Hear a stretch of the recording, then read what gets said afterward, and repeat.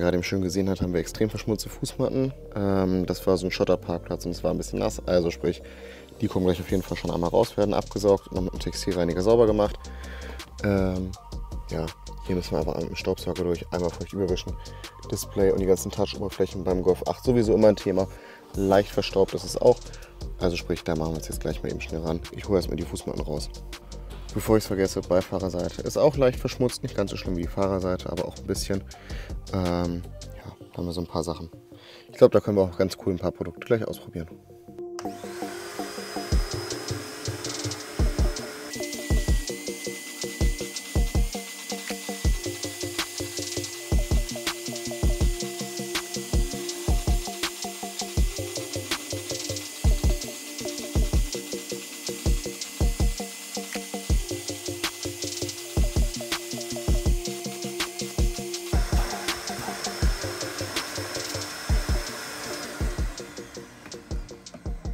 So, ich habe mir einmal in der äh, ja, Sonax-Flasche angemischt ähm, den glykolsäurebasierten Polsterreiniger von Labo Cosmetica und ein hochfloriges Mikrofasertuch und damit sprühe ich die zweimal ein, reibe die wieder ab und dann müssen die wieder sauber sein.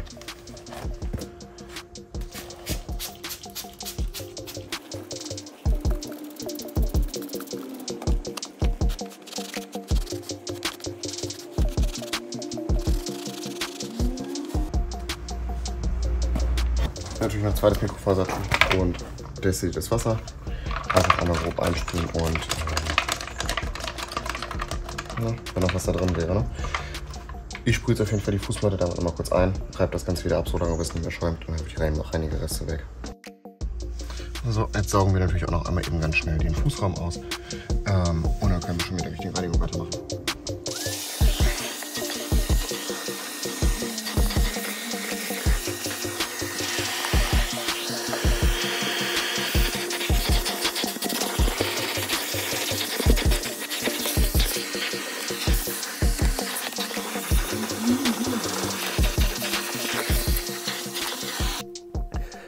Ich habe jetzt hier noch einmal von Green den Aktivschaumreiniger. Ich gucke, ob ich das hinbekomme, ohne dass es jetzt so das spiegelt. Vielseitig einsetzbar mit Nikotinlöser. Äh, Reinigungsschaum zur Fleckenbehandlung auf Kunststoffen, Polstern, Textilien und Kunstleder im Fahrzeuginnenraum. Ja, wir haben jetzt hier so ein paar leichte Abriebspuren und wir haben hier noch ein paar leichte Verschmutzungen. Ich werde es auch mal auf der ähm, Fußablagefläche mit ausprobieren. Ähm, aber ich werde am Ende mit Wasser drüber gehen, keine Sorge. Nicht, dass das am Ende rutschig wird, das wollen wir ja nicht. Ist jetzt kein Härtetest, aber ich denke, ein guter Test, ob sich so ein Reiniger als Alltagsreiniger eignet oder nicht, weil das alles Verschmutzungen sind, die im Alltag so des Öfteren auftreten, finde ich. Schon mal Punkt 1 zu diesem Reinigungsspray. So, ist glaube ich besser vom Licht her. Schon mal Punkt 1 dazu. Ähm, es ist kein Spraykopf, der nach vorne rausgeht, sondern einer, der so rausgeht. Also sprich, ich weiß nicht, wie gut das jetzt hier vom Dosieren her ist oder vom Sprühwinkel. Gucken wir mal. Oh, okay. Ich habe einen halben Einstieg mit eingesprüht. Das ist schon mal heftig. Also sprich, ich muss deutlich näher rangehen, finde ich. Denke ich mal. Okay. Gucken wir hier mal aus. Ja, okay, sehr schaumig auf jeden Fall. Ähm, sonst ein bisschen was. So. Und da kann ich auch direkt einmal mit drauf gehen.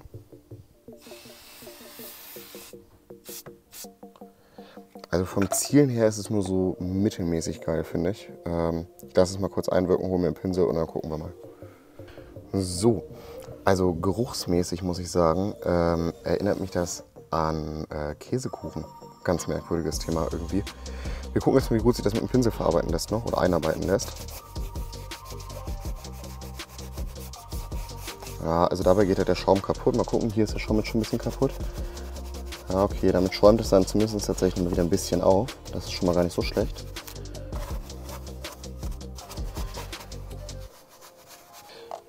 Hier mal bei der Pedalerie, was das bringt.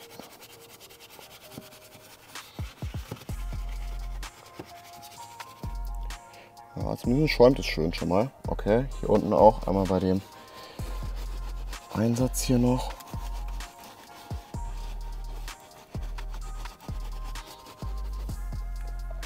Also gerade auf dem Pinsel sieht man das schön, wie doll das Ganze schäumt. Das ist schon krass. Jetzt nehmen wir es mal mit einem hochflorigen Mikrofasertuch ab.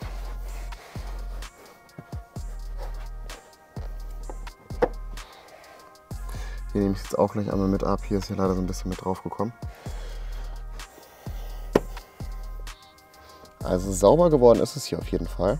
Ich mache nachher nochmal ein Bild, äh, beziehungsweise nochmal eine Aufnahme, wenn es vernünftig abgetrocknet ist. Hier ist auch noch ein bisschen was. Und dann gucken wir hier nochmal.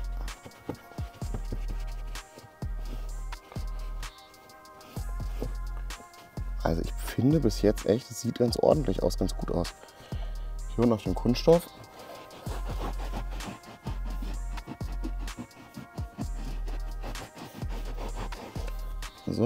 Natürlich ist ein bisschen was mit auf die Polster gekommen, beziehungsweise mit auf den äh, Teppich gekommen.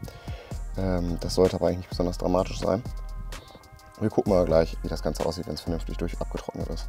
Beziehungsweise ich habe hier tatsächlich noch eine Stelle übersehen. Hier vorne sind ja auch noch so ein paar Fußstriemen. Da sprühen wir es jetzt einfach nur mal auf. Ein bisschen dichter, ich möchte nicht alles voll sprühen, so. Ähm, und jetzt nehmen wir uns dafür mal das Tuch, das ja von Nigrin selber dafür gedacht ist. Das hier ist das. Das kurzflorige Tuch. Müssen wir mal kurz gucken. Schon ein bisschen älter bei mir, aber dieselben hat Nigrin heute immer noch. Äh, ich gucke mal, dass man das sehen kann. Ja, hier steht auch noch Nigrin drauf. Sprich, das ist wirklich das Nigrin-Tuch von Nigrin für den Cockpit. Für den Cockpit, für das Cockpit. So rum. Ähm, also das ist damit nicht weggegangen. Also sprich, nachfliegen ist es unter keinen Umständen nicht.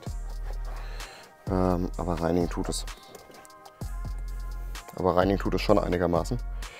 Ähm, ich finde es mal etwas komisch. Schaum, Reinigungsschaum zur Fleckenbehandlung auf Kunststoffen. Das waren ja im Grunde genommen Flecken. Die meinen es vermutlich Verunreinigungen. Ähm, also sprich halt ja, ohne pflegende Wirkung, wie gesagt.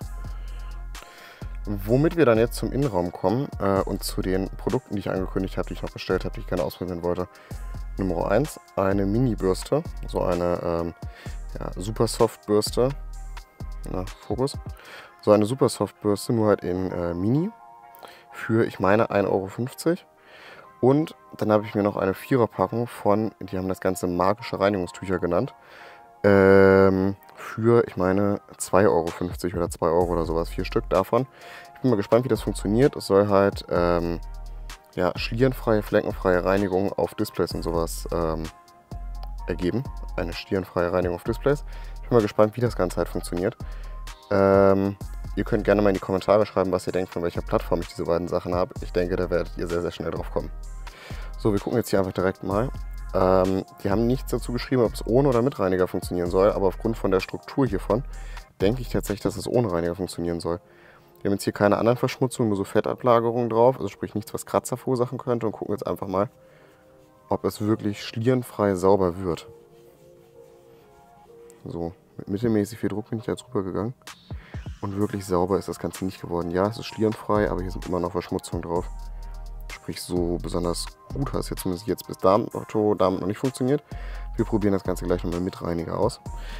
Ähm, da folgt mir jetzt den Interior Purge von Reflected geschnappt. Ähm, ja, extrem guter Innenraumreiniger. Schliert auch von sich aus schon mal nicht, finde ich schon mal sehr gut.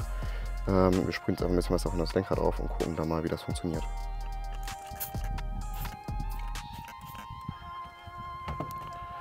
So, damit sind schon mal die Oberflächenteile benetzt. Ähm, ich denke, auf Velo sollte man das auch einigermaßen gut sehen können. Also, ähm, das Tuch nimmt gar nichts an Flüssigkeit auf gucken mal, ein bisschen feucht ist es jetzt an der Oberfläche, aber es saugt das halt nicht auf, wie das Ganze jetzt ist, wenn ich damit jetzt hier nochmal drüber gehe. Also, ähm, können gerne mal damit nachpolieren kurz. Also reinigen tut es halt wirklich nicht. Schlierenfrei, naja, geht so. Ich denke, man kann das ganz gut sehen. Ähm, also, ich glaube, das Ganze ist mehr ein Flop als alles andere. Ich guck mal, ob ich das nachher noch auf dem Display ausprobiere oder ob mir das zu riskant ist, zu gefährlich ist. Mal schauen.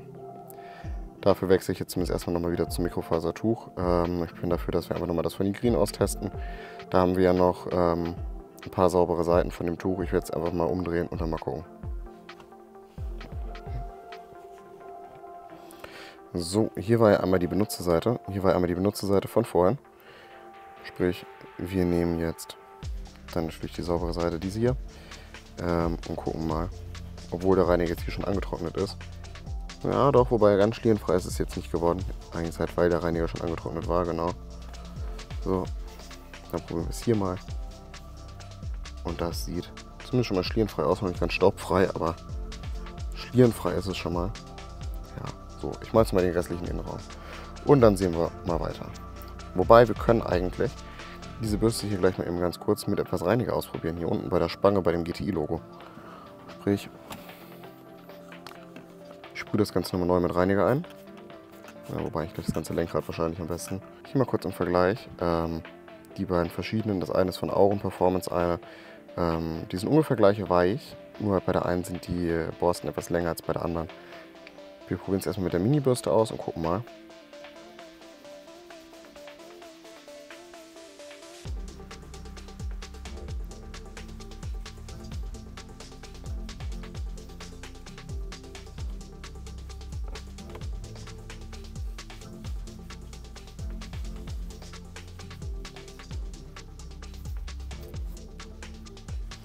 Das hat, finde ich persönlich, schon mal ganz gut geklappt soweit.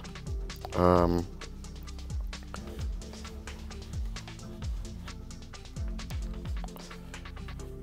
es ist halt, wie es immer ist mit Bürsten, ähm so ein Thema für sich. Der eine mag die Liebe, der andere mag die lieber.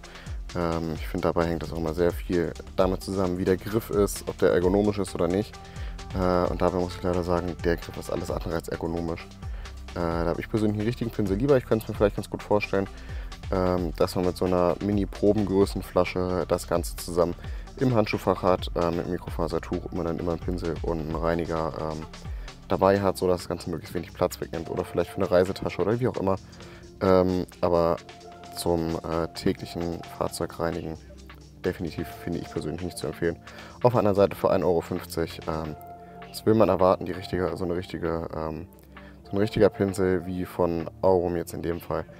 Da liegt, meine ich, das Doppelset bei 8 Euro, bei 10 Euro, irgendwie sowas. Sprich einer bei 4 statt 2 oder 2,50. Ähm, ja. Ich persönlich würde mir dann immer die vernünftigen großen kaufen. Aber am Ende muss das jeder selber wissen. Und für die ganzen Hochglanzoberflächen, für die restlichen nehmen wir uns natürlich auch ein hochfloriges Mikrofasertuch, kein kurzfloriges. Ähm, hier ging das jetzt, weil hier eh keinerlei äh, Staub drauf ist. Hier ist es immer noch so ein bisschen schwierig. Äh, ich denke mal, das werden wir dann gleich auf jeden Fall mit dem hochflorigen Tuch besser wegbekommen. Hier ging das vorhin jetzt ganz gut, weil hier keine großartigen, äh, ja, ich sag mal, Verschmutzungen waren. Ähm, hier waren es ja hauptsächlich ähm, Fettablagerung, was natürlich dann hier bei den ganzen Klavierlackoberflächen was anderes ist. Ähm, und auch hier mit dem Carbon haben wir in einem anderen Video foliert. Das verlinke ich euch mal oben kurz äh, auf dem i. Könnt ihr gerne mal reinschauen, wenn ihr möchtet. Ähm, gehen wir natürlich mit dem Pinsel am Ende bei und nehmen das Ganze dann auch mit einem hochflorigen Tuch ab.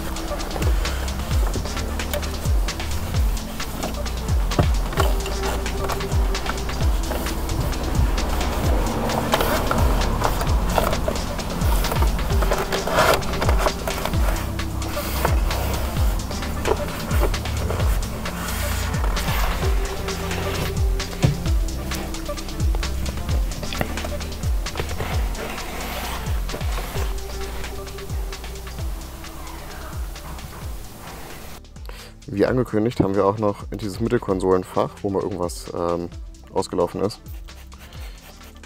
Einmal kurz eingesprüht, ne? Mit dem Pinsel kurz einmal durchgehen.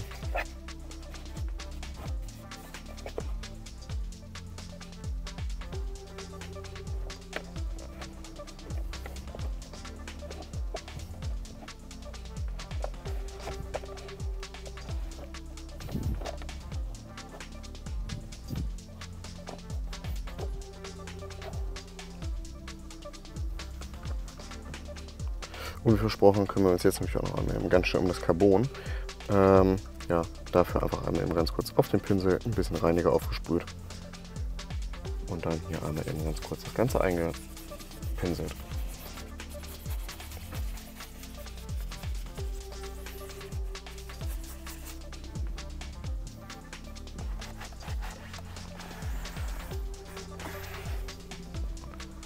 Und damit ist das Ganze auch wieder schön sauber. Und ich denke, abgesehen jetzt hier von diesen Ritzen, und da unten sind noch ein paar Fußstriemen, die machen wir aber gleich noch weg, sieht das auf der Seite zumindest schon wieder ganz ordentlich aus. Und genau bei solchen Flächen sehe ich auch den einzigen Vorteil davon, dass man diese Flächen unfassbar schnell benetzen kann und wenn es keine starken Verschmutzungen sind, ähm, ja, die Flächen auch ganz schnell einfach mit dem Tuch abnimmt und dann ist es sauber.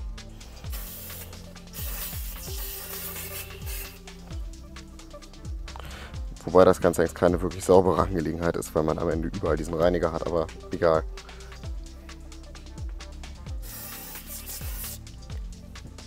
So, schon mal das Ganze überall vernünftig benetzt. Dann wieder unser kurzfloriges Migrintuch. Und damit nehmen wir das Ganze jetzt einfach einmal eben ganz schnell ab. Und dann gucken wir mal.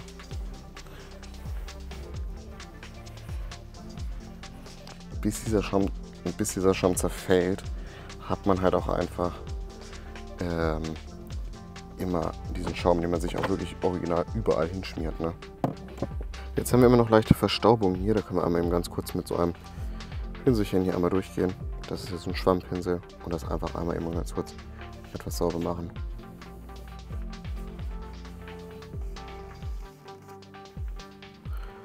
Und damit sieht das auch wieder schön sauber aus und passt wieder alles. Hier nicht zu vergessen, ne? Die Lüftungsschlitze darf man natürlich nicht vergessen, überall. So. Hier auch und den letzten Lüftungsschlitz.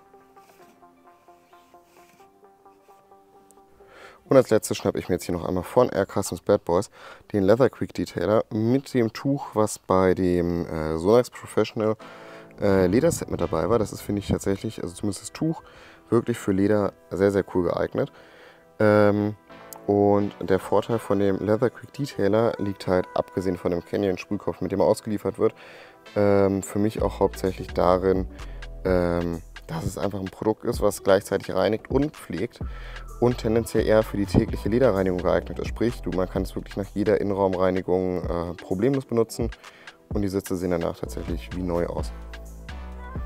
Sprich, wir drehen uns einmal unseren Canyon Sprühkopf ein wenig auf und sprühen unsere Sitze einmal grob ein. Die müssen auch überhaupt nicht satt benetzt sein oder ähnliches. Dann nehmen wir uns unser Tuch und arbeiten das Ganze einmal ein, verteilen es eigentlich hauptsächlich. Ähm, und ich denke, man kann tatsächlich, sobald wir das Ganze gleich etwas abgelüftet hat, auch schon einen, ähm, ja, einen schönen Vorher-Nachher-Unterschied sehen.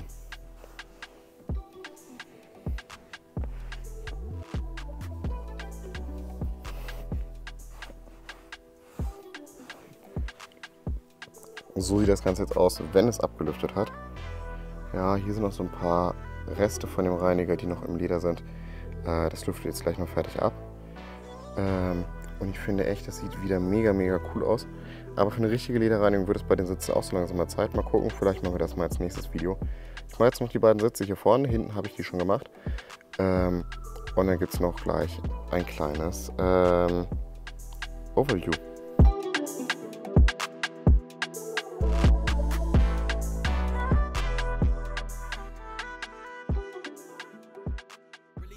Saturday, show some respect. I can't even think about it. I've been up, so read about it. No beat around it, straight to it, no ring around it. You coming for me, we'll see about it. We'll never see it when I kick my feet up. A hundred meters where I run the fee up. And go kitchen and on a pia. I had to re up on a reel, so you stay the feeder. And put it back into the bit, cause I don't really need it.